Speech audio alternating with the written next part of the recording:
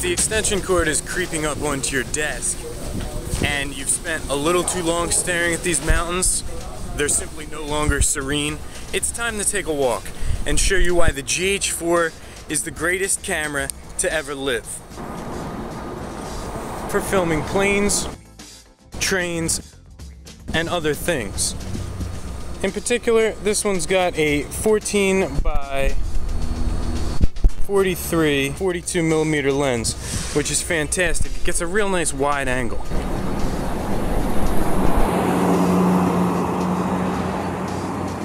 Comes stock with some like little rings on here that you can use to put a lanyard around your neck. I mean, this isn't a saxophone. You don't need a lanyard for it. I need it to go far away from my neck, for instance, really far away.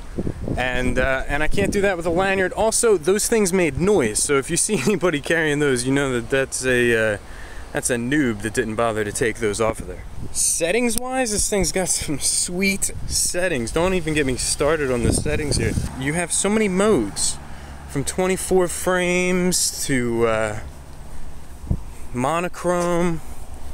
This machine can do some incredible stuff. And of course, standard quarter inch tripod mount. Beautiful. You can put it on a gimbal, you can put it on a monopod, you can put it on a fluid head.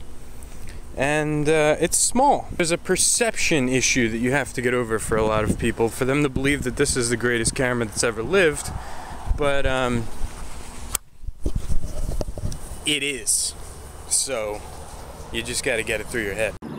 It provides texture, detail. I mean, where are you going to find this? One of my favorite features here, I can actually click on the screen to change the focus. It's just insane. I mean, how's this even possible?